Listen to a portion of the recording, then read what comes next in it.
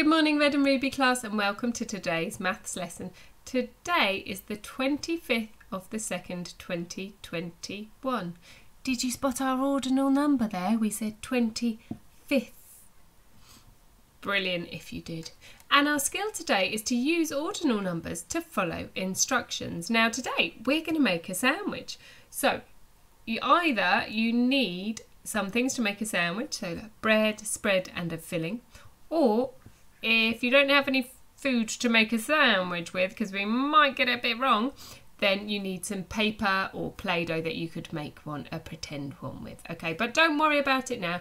We don't need it till the end of the video, so you can watch the video first and then ask a grown-up for help. Okay, now lots of things we do need to be done in certain uh, orders, otherwise they just don't work. And we can use ordinal numbers to help us with this. So let's have a look at some mishaps where things have gone a bit wrong.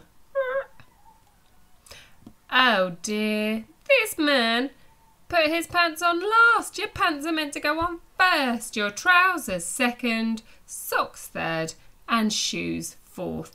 You don't put your pants on fourth, do you? Oh dear. Okay, or let's have a look. Oh, washing our hands. Okay, yep. Up, put them in the mud. Wash them, lovely, lots of soap, nice, yep. And then washing them, good. He's doing a great job. Washing his hands and what? And then putting them in the mud? No, that's not right. First, use water. Second, add soap. And third, you dry your hands. You don't put them in the mud. That's not how you wash your hands. Oh dear, that little raccoon's got it all wrong. And what else? Yeah, tying your laces. Tying your laces needs to be done in a certain order. So first we tie a knot, second we loop it round our fingers. Well, third you don't just let go, third you need to make another loop to get it right. So I wonder if you can help me to get these instructions in the correct order to make a successful jam sandwich. Are you ready for the task? Great. Okay, so we have our ingredients up here for a jam sandwich. First we have the jam, Second, we have some bread. And third, we have some spread. So let's just check our positions. So first is the jam. Hmm, which one is second? Yeah, it's the bread. Well done. Second is the bread. And third, we have... What's in our third position? Butter. Okay, good. Are you ready to see how I got on making this jam sandwich? Oh, I made a short video so that you could see it. Oh.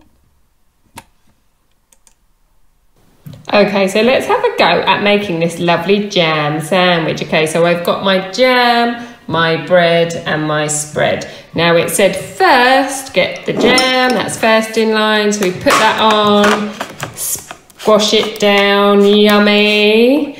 Next, second is my bread. So get some bread, push that into my jam. Delicious, it's all oozing out the side. And third was the butter. So now I get the butter and spread it around. It's quite hard to spread with one hand, but there we go. First jam, second bread, and third butter. What do we think of my lovely jam sandwich? Do you think I did a good job? Hmm. Oh dear, I don't think that was right, was it? I want I think I'm going to need your help to get this right. Let's see if we can do it together. Okay, so we have our ingredients here. We have some jam, some bread and some spread and that sounds great to me for a delicious sandwich. But which item do we need to use first? So we've got our first up here, our instruction. So which item do you think we need yeah, I think we better put some bread down first. And second, which is going to come next? The jam or the butter? Yeah, let's put the butter second. Say it with me. Butter goes second. Good job.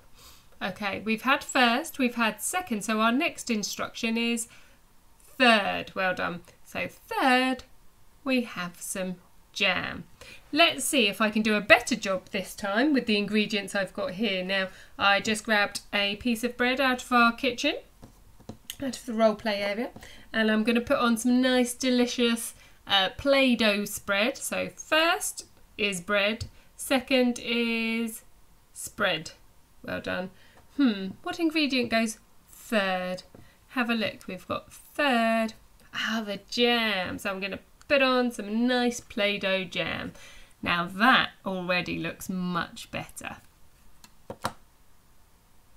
So your challenge today is to follow the instructions in the correct order to make a sandwich. Now you can make it out of Play-Doh or paper if you don't have any ingredients and I can't wait to see the photos that you're going to be sending in of your delicious photos uh, of your delicious sandwiches.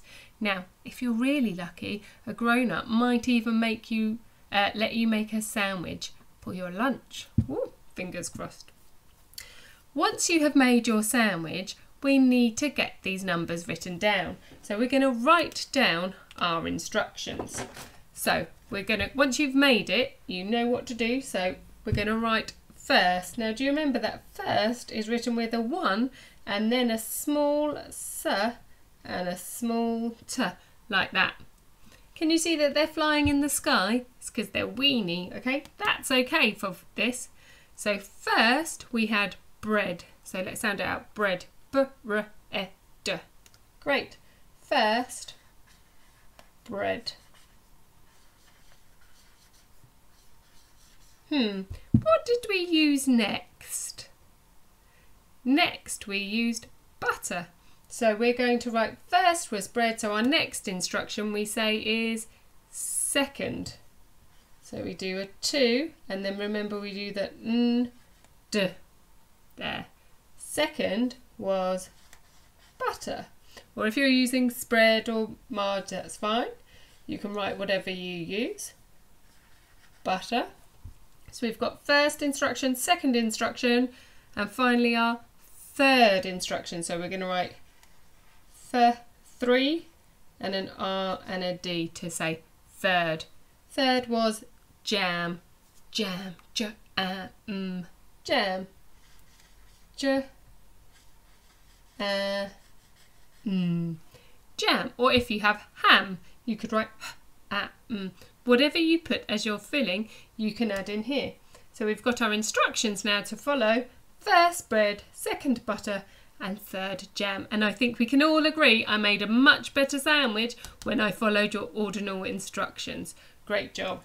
Okay, as a chili challenge, you might want to add more steps, remembering to use our ordinal numbers. So you might put, hmm, what do we say after third? What first, second, third, fourth? Good, we don't just say four, do we? Because it's not our birthdays, we say fourth. So we would write that like this, fourth. And then you might write add more bread because you might want to close your sandwich or you might just write fourth instruction is to eat your delicious sandwich you've made. Okay, good luck with the sandwich making today. I hope you all have a tasty time.